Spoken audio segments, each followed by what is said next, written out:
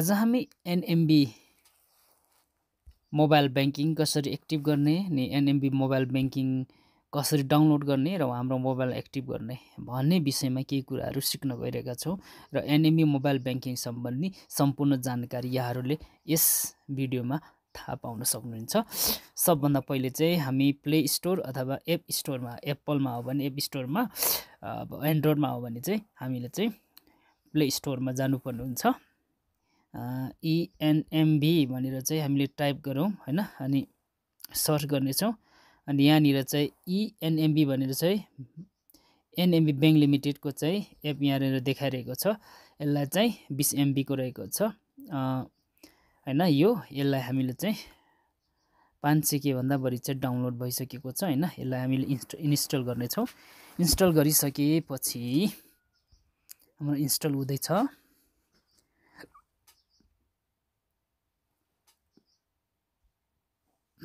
Install भइसक्यो अब open गर्नुपर्छ। अनि यसमा चाहिँ allow NMB to send notification भनेर अलो गर्ने होइन? तल के चाहिँ notification welcome to NMB bank I don't have account open account I have account active ENMB भनेर लेखेको छ। हामी चाहिँ मसँग अलरेडी छ। त्यस कारण यहाँनिर ल्याङ्ग्वेज भेरिफिकेसनमा ल्याङ्ग्वेज पनि छान्न भनेको छ। नेपाली या इङ्ग्लिस। हामी इङ्ग्लिसमै राखौँ। अनि प्रोफाइल पनि प्रिमियम र स्ट्यान्डर्ड भनेर छ प्रिमियम डिफल्टमा बसेको छ हामी प्रिमियम नै राख्नेछौँ लोकल इन्टरनेसनल भनेको छ हाम्रो चाहिँ अब यो रिसेन्ट चाहिँ लोकल राखिदिउँ होइन? सिफ सिआइएफ नम्बर भनेर मागेको छ। हामीसँग यदि सिआइएन नम्बर छैन भने फाइन सिआइएफ नम्बर भनेर यहाँ लेखेको छ यहाँनिर हाम्रो चाहिँ bank please enter your account number and we wills send your CIF number on your registered mobile नम्बरमा भनेको छ। मसँग चाहिँ अलरेडी छ मलाई याद छ तर पनि यहाँनिर हामी एक्सपिरियन्सको लागि यहाँनिर हामीले चाहिँ हाम्रो अकाउन्ट नम्बर हाल्नेछौँ।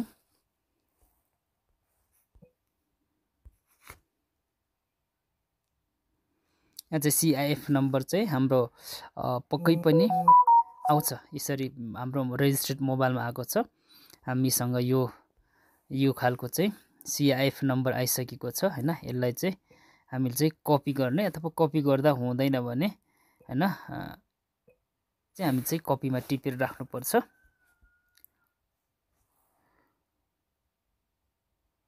वान थ्री यो चाहिँ जहिले पनि एउटै हुन्छ हाम्रो सिआइएफ नम्बर चाहिँ है। यदि अगाडिको अगाडि हामीसँग छ भने त्यसलाई हामीले कपीमा लेखेर राखेका छौँ भने त्यही पनि युज गर्न सक्छ। यदि बिर्से खण्डमा यो फाइन सिआइएफ नम्बरबाट चाहिँ हामीले चाहिँ आफ्नो सिआई सिआइएफ नम्बर थाहा पाउन सकिन्छ। यसको लागि चाहिँ are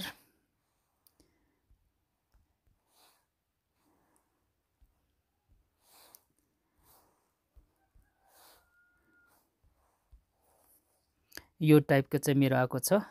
I accept term and condition चाहिँ हामीले चाहिँ ओके गर्नेछौँ।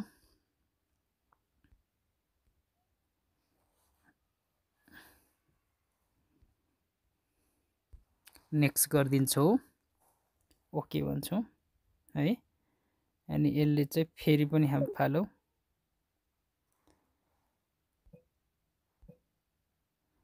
यहाँ मोबाइल भ्यालिडेट अब चाहिँ प्रोसेस कोड आइरहेको छ।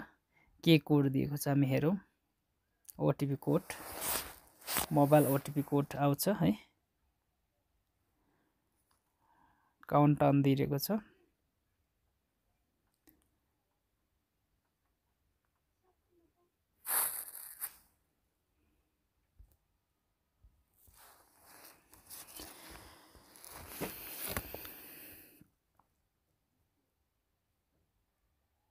ओटिपी कोड आउनु आउनु आयो आएर भइसक्यो। अब चाहिँ इनेबल बायोमेट्रिक मेबी लेटर पनि गर्न सकियो होइन? मेबी लेटर मेबी लेटर भनेर गर्न सक्छौँ यहाँ है? अनि त्यसपछि यहाँ पिन नम्बर राख्ने। अब पिनहरू पनि हामीले चाहिँ अब आफूले क्रेड लगइन पिन भनेको छ। हामीले चाहिँ नयाँ पिन हाल्नै पर्ने हुन्छ होइन? पिन कन्फर्म पिन भनेपछि। पिनलाई चाहिँ पिन सुड बी सिक्स डिजिटको चाहिँ लङ राख्नु पऱ्यो pin should be numeric only नम्बरको मात्रै लिन्छ पिन होइन? अनि please do not create easy to guess pin भनेको जस्तै one two three four five six जस्तो चाहिँ नहाल्ने यताउता मिक्स भएको हाल्नु पर्ने हुन्छ।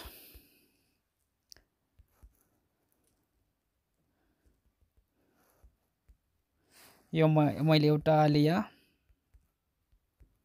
एउटा पिन हालेको छु। यो पिन चाहिँ बिर्सनु भएन हामीले याद गर्ने सकेसम्म कपीमा लेखिराख्ने होइन?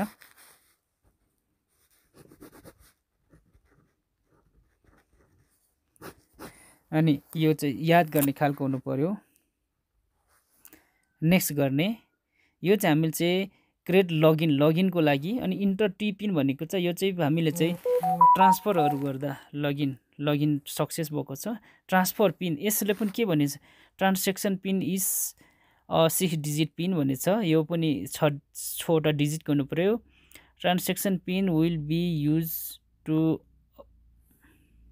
authenticate your transaction of EB, ENMB application. Transaction pin and login pin can not be same हाम्रो चाहिँ ट्रान्सेक्सन पिन पनि डिफ्रेन्ट हुनु एकै खालको हुनु भएन यो यो लगइन पिनसँग है दुई खालको हुनु पऱ्यो यसलाई चाहिँ सिक्स डिजिटको मागेको छ। यहाँ हामीले अलिक सजिलो राख्न सक्छौँ तर छवटा डिजिटको नै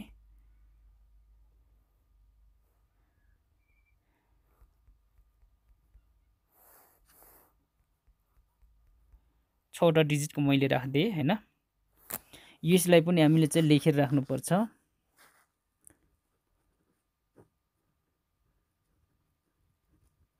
हामीले चाहिँ गोप्य लेखेर राख्यो भने अलिकति याद हुन्छ होइन?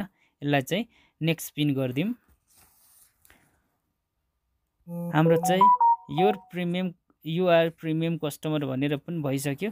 तिम्रो भइसकेको छ भनेर छ है। View account detail view balance and generate statement होइन अनि perform financial and non financial transaction यहाँ चाहिँ यसले चाहिँ दिन सक्छ। त्यसको अब लगइनतिर जानेछौँ। लगइनमा चाहिँ अब एनएमबी ब्याङ्क अत्यन्त जरुरी सूचना भएर यहाँनिर कसै सेयर नगर्नु न। आफ्नो ओटिपी पिन पासवर्ड जस्ता व्यक्तिगत विवरण कसैलाई सेयर नगर्नु जस्ता के केहरू सूचनाहरू थियो होइन सतर्क भनेर यो चाहिँ दिन्छ यदि उसबाट अब चोरहरूबाट सेफ हुनलाई। अब यहाँ चाहिँ हाम्रो लगइन पिन के राख्यो त? इन्टर यो लगइन पिन अघि नै हामीले चाहिँ यो चाहिँ लेखेर राख्नुपर्छ मैले भनेको थिएँ नि किनकि बिर्सन सकिन्छ नि। अलिकति आफूलाई याद हुने खालको राख्नुपर्छ अनि मैले चाहिँ राखिसकेँ। अब मेरो खुलिसक्यो है। अनि यहाँनिर चाहिँ कति पैसा छ सबै कुरा। यहाँनिर कति पैसा छ सबै कुरो देख्न सकिन्छ है। आफ्नो ब्यालेन्सहरू चेक गर्न यहाँ थोरै छ अनि यो खाता नम्बर देख्यो। त्यसपछि चाहिँ हाम्रो चाहिँ अब आफ्नो नाम भयो होइन एक्टिभ भयो अनि मोबाइल ब्याङ्क कति चाहिँ के छ सबै होइन कहाँ छ ब्रान्च छ लेरी सोलु दुधकुन्द म्युनिसिपालिटीमा रहेछ यो होइन अनि यताबाट बिउ स्टेटमेन्ट गर्न सकियो। Jit Kulung at Gmail dot कममा चाहिँ यो चाहिँ यसको आउँछ होइन अनि सबै कुराहरू हामीले चाहिँ यहाँबाट हेर्न सक्छौँ। तपाईँहरूले अब इमेल टिडिएस पनि यहाँ देख्न सकिन्छ बिउ स्टेटमेन्ट होइन? त्यस्तै डाउनलोड स्टेटमेन्ट पनि गर्न सकियो यस्तो टुडेको लास्ट विकको दिस मन्थको भनेर होइन? अनि के छ चाहिँ यहाँ? अमाउन्ट कतिसम्म कति राख्ने होइन? क्रेडिट कि अल कि होइन? सबै। अब सय रुपियाँदेखि म्याक्स भनेको हामीले चाहिँ बिस लाखसम्म गरिदियो हुन्छ यसरी यसरी गरिदियो भने हाम्रो चाहिँ यहाँ पिडिएफमा चाहिँ डाइरेक्टै डाउनलोड हुन्छ होइन? अथवा जुनसुकैमा मैले कारोबार गरेको रकमहरू यसले देखाइदियो एक महिनामा है? त्रिहत्तर हजार त्रिहत्तर हजार छ सय चौध चौहत्तर रुपियाँको चाहिँ ब्यालेन्स देखाइदियो होइन?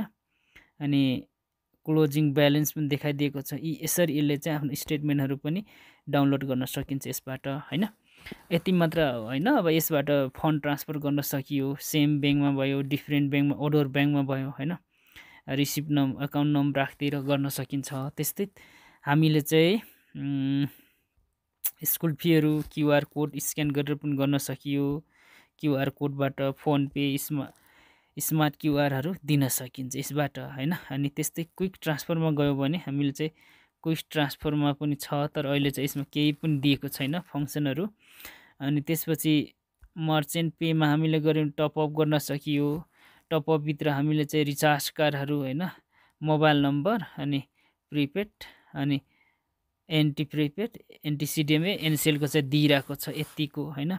ल्यान्डलाइनको गर्न सक्यो। वालेट रिचार्जबाट गयो भने हामीले चाहिँ खल्टी खल्ती ई सेवा स्काई आइएमइपी वेब सफर मोरु जस्ता चाहिँ एपहरूमा चाहिँ हामीले चाहिँ वालेट रिचार्ज गर्न सकियो। स्कुल फी वाटर कुल electricity credit card Fonepay जस्तामा चाहिँ हामीले चाहिँ टपअप इन्टरनेटमा पनि गर्न सकिन्छ। इन्टरनेटको चाहिँ web surfer ADSL sky Subisu होइन बायोनेट एरोनेट जस्ता चाहिँ एरोनेटमा हामीले गरेर यहाँनिर गर्न सकिन्छ। सायद अब मेरो देखाउँदैन होला एरोनेटको युजरहरू यसले एक्सेप्ट गरिरहेको छैन है।